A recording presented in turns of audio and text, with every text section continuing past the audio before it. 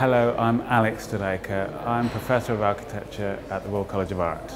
We're here amongst the graduating students' work of 2012 and I'm keen to show you some of the projects. The agenda of this studio is the production of food in high-rise context and Chris is going to explain this incredible project.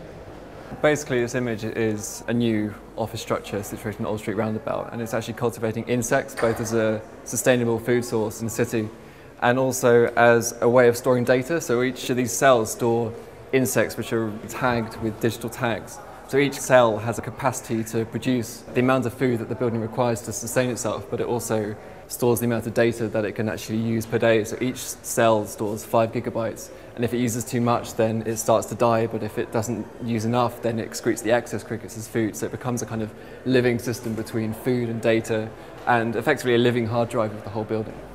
The central core is the backbone which stores the food production elements. So this is storing like the 3D printers and the grinders and the silos which are processing these insects into food.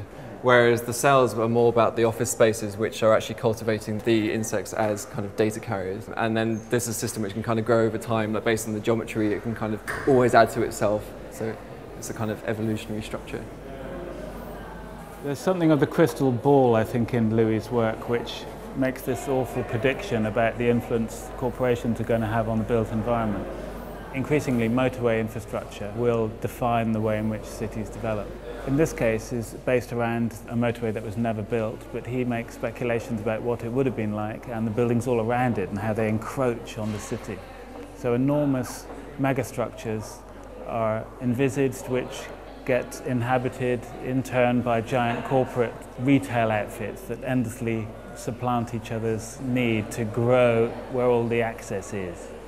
What I really like about this project is not just the speculative nature or the predictive nature of it, but the fact that as an artist, he's able to convey it with such simple photomontages that are, for me, brutally powerful. I, I, I enjoy them. This is a project where the program of a hotel subsidizes the production of tropical fruit growing and it's another along the theme of food production in the city in high-rise buildings. And what I like about this project is actually its structural content.